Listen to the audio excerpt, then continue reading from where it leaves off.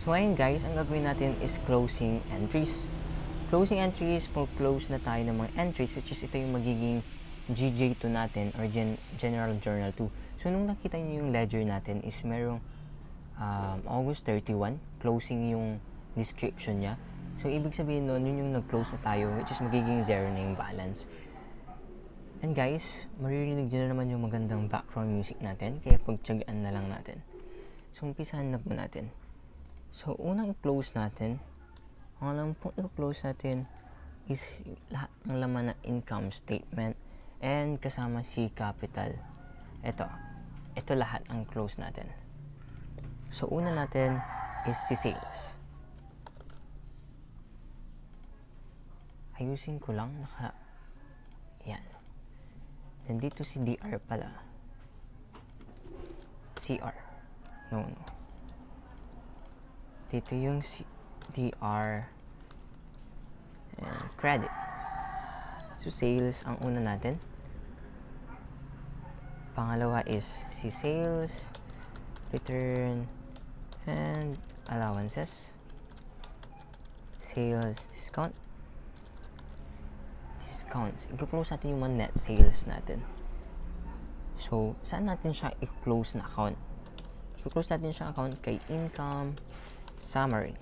So, nakita nyo dun sa ledger natin, meron tayong income summary sa pinakadulo. Pero ngayon, ang nasa dulo na kasi notes payable kasi nakalimutan natin ilagay yung last. So, debit is 459,000. Question, bakit nasa debit si sales?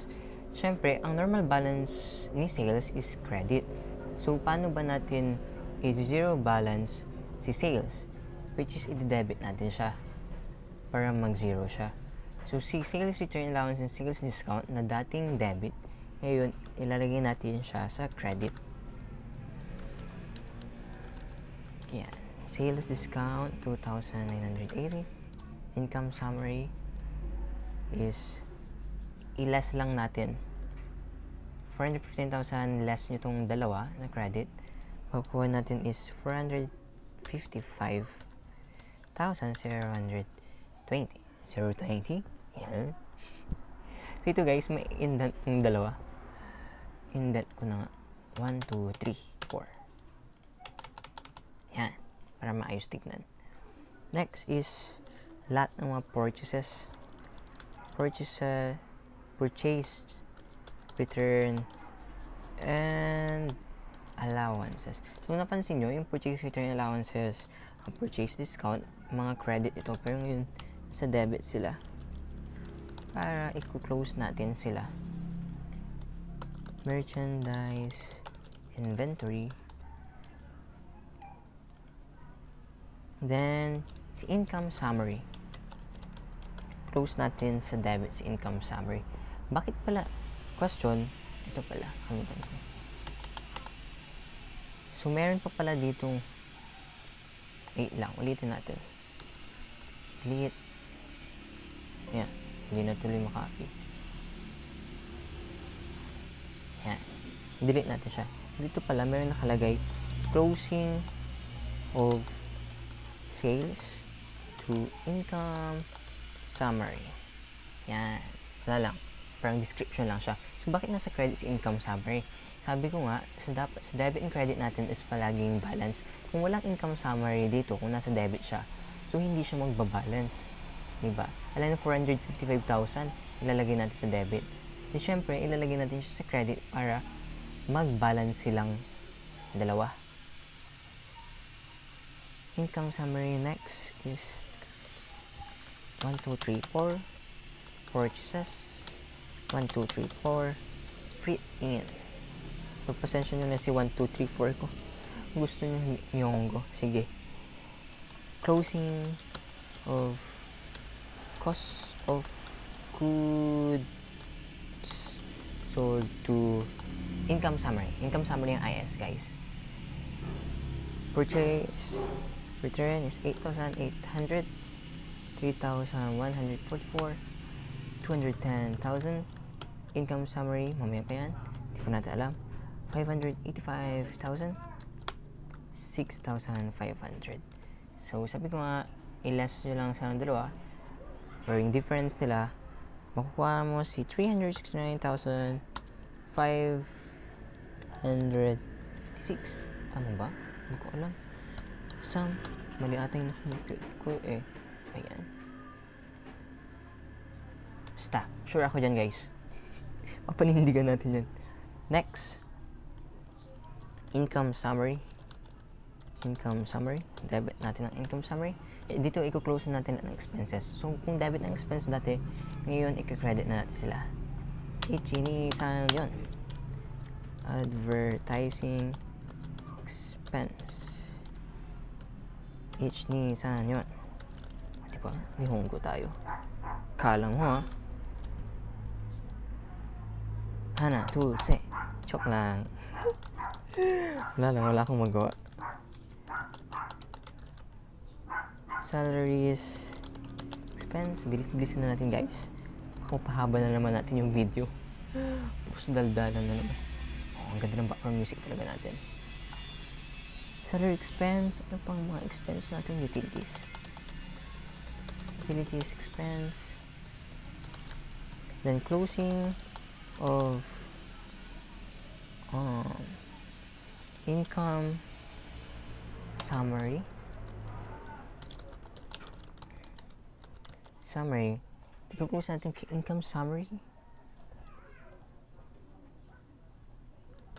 To expense. Parang mali. Parang closing of ex, of expenses or operating expense to income summary. Basta guys, pero feeling ko tama yung pangalawa ko.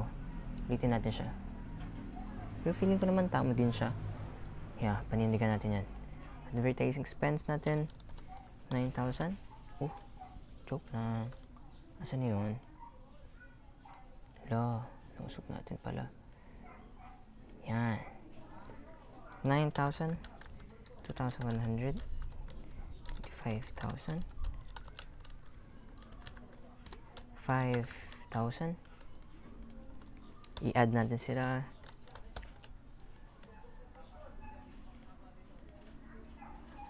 Eh, hindi ko. Hindi ko masama. Ayan.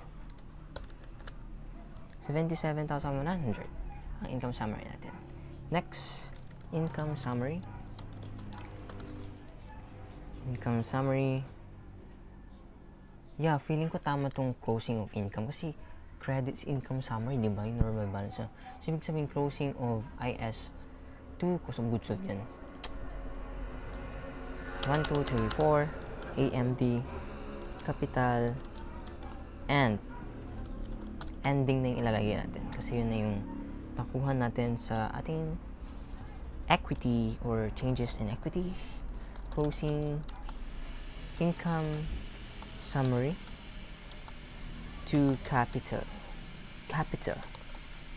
Income summary is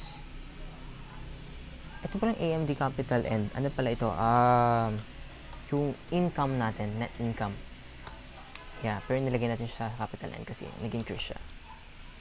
Yan. Next. Ito na guys. Si ating drawings. I-close natin si drawings hindi kay income summary kundi kay capital. Bakit kay capital? I-search natin assignment natin kasi hindi ko din alam. Joke lang. Search na lang natin guys mamaya. Drawings closing of drawings capital. 20,000 yung drawings natin and 20,000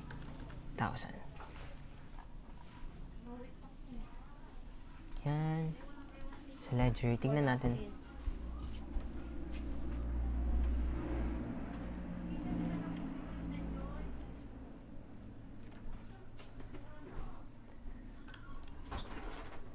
sales saan yung sales yan so kung napapansin nyo guys meron tayong August 31 closing yung item GJ2 459,000 magiging zero na siya. Ganun pagdating sa closing entries. Kukunik pa rin natin sa ledger